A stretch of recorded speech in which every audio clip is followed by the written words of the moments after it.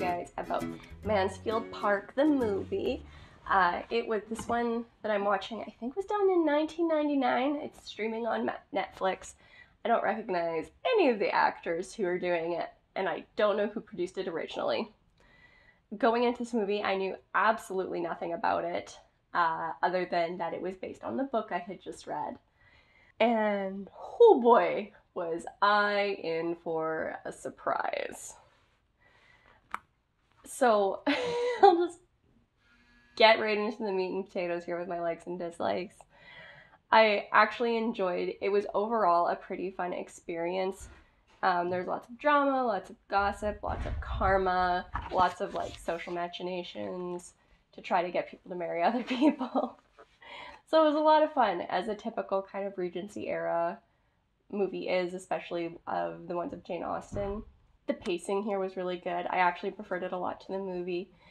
They cut out a lot of like the lecturing tones that you got with some of the conversations, and so that really increased uh, how quickly the story moved forward, which I really, really enjoyed. You got to the really interesting stuff a lot quicker, and you didn't end up with a lot of dragging because of the really dry conversations a couple of the characters would have.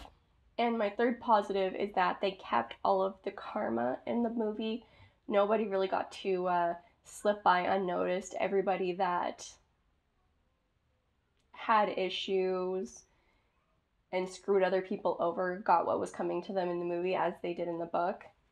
Uh, I say it this way because partway through, a few things were diff- a little bit different, and I was really concerned at how much or how true this adaptation was going to be. And now we'll move into my dislikes. I only have two listed, but one of them is like a bajillion things all summarized in one point. So it stands for like 10 things I didn't really care for. Because they took a lot of creative liberties with the book. There were flat out scenes that occurred in the movie that did not happen in the book. The most egregious of which involved Henry Crawford. and so even though like the umbrella kind of story stayed the same, how they got from point A to point B just like really wasn't a lot of fun because so many things that I had enjoyed in the book were changed and some of them I wasn't expecting to be changed because it would have been so easy to just keep the previous like how it was done previously. And I could I literally could go on for hours just ask my husband. he had to listen to a lot of it. And I was what we were just doing a voice call on our computers while I was streaming the movie, and so he got to hear me complain about things with just no idea what was actually going on. I imagine it was very confusing for him. My second negative, on top of the creative liberties they took with like the plot and some of the order things happened in, they actually changed Fanny quite a bit in my opinion well, she still had some of her conviction. Um, they changed her personality a little bit. She's a lot, mo- lot more outgoing. She was, a, she came off on screen a lot more like Lizzie Bennet or Emma would, and not as timid or it, as she was in the book. She, I would even argue that her strength of conviction was a lot less in the book.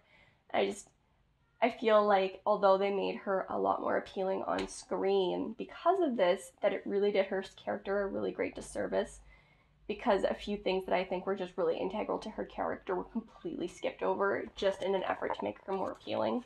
And with that, I will just move on to the characters. I don't really have much to say here because the most I have to say is complaining about how they changed Fanny, and I've already done that in terms of the movie itself, the characters were pretty fun on screen. I think the actors and actresses did a pretty good job with them.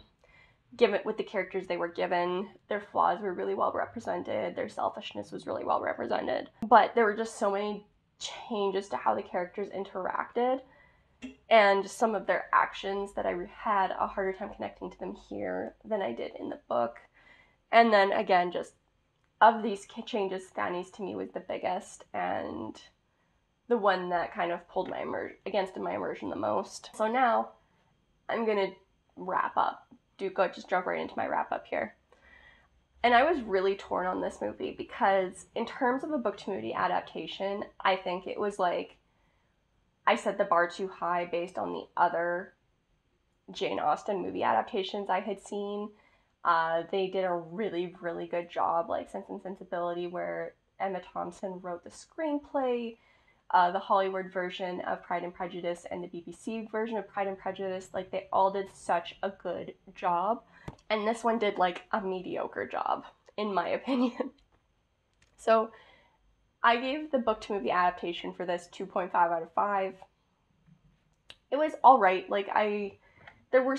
They stayed faithful to the overall story, but just like I had mentioned earlier, going from point A to point B, they changed how they would do the stuff to get to point B. And they changed Fanny. They changed, they added scenes that never happened in the book. I had a lot of what the hell is going on moments while I was watching, and I just, because things were happening that I just couldn't get behind because they weren't in the book. So, if you've read this book, I would actually hesitate to recommend this movie to you just because it changes so much. By the time I got to the end, I kind of felt like I was hate watching it just to finish it, and it really wasn't that bad. Because going just to the movie review part of this, it was actually like a pretty good movie. I'm giving it a 3.7 or 3.5 out of 5 because if you don't know anything about the book, it's a fine like time period movie. The actors were good, the story was fun to follow, there was karma, there was drama. The characters were easy to identify. Like it wasn't and they used a lot of the cinematography that I like in movies like this where they do a lot of dramatic cuts to heighten whatever emotion is being is playing between two characters. Like not all of like and the for the main actors i think they did a pretty good job. Some of the supporting actors i didn't care for as much like fanny's biological mother fanny's aunts uh, mr rushworth one of the cousins love interest or marriage prospects and just like and everybody did a good job and some of them just didn't i feel like didn't fit the role like aesthetically and there's nothing wrong with that and they're fine and as enjoyable as it was, I'm never to watch it again. It's not one of these movies that's to linger with me forever. But if you have never read the book, it's so much more worth your time to watch this movie. I like I said, I would really just hesitate to recommend it if you've read the book, uh, and you like having really accurate adaptation. So I'm gonna stop here before I rant for like way, way, way too much longer and I'll just see you guys in the next video. Peace.